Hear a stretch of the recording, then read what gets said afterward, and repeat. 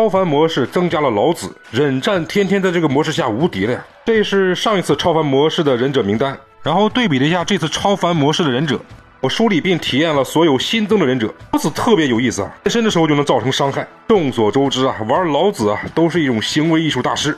这个忍者身上有一种独特的魅力，实战中一般配合扦插比较好。注意看这里啊，我插住了飞段，然后不断的变身，大家可以看到他血是一块一块掉的，不到五秒钟，他从满血被我打成了空血。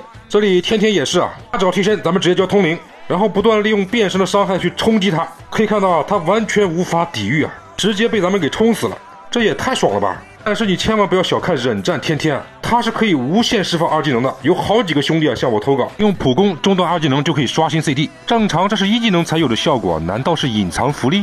手术间给我的感觉变化不大啊，木龙变成了充能两次。但是用起来跟之前的区别并不是很大。其实这一把我用的就是牵手柱间啊，结果被对方的忍战天天给虐爆了呀！战斗的白击之术啊变成了抽能两次，常驻黑夜模式二技能也得到了很大的加强。反正用起来就是一个字儿爽啊！开局两个白鸡打不到没关系，直接变白鳞大蛇。这个白鳞大蛇的 Y 轴还有点大呀。前一段无敌不说了啊，最后一段还有抓取效果。更离谱的是他能无脑开大呀！正常模式下他的大招一般只能接多优野的抓取。但是在这个超凡模式下，随便接白鳞大蛇呀，这个忍者用下来的感觉啊，就是爽啊！花火的笔啊，这次也首次加入这个模式。别看技能的增强并不是特别的明显。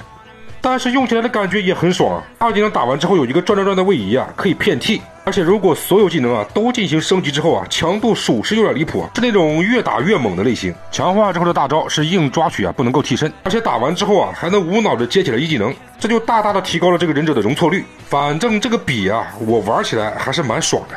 现在甚至还有点想念策划花火了。萨姆伊的两个技能都增加了范围，雷电剑还可以破除霸体。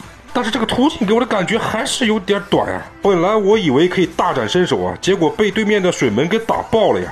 这个模式下的水门真的有点强啊！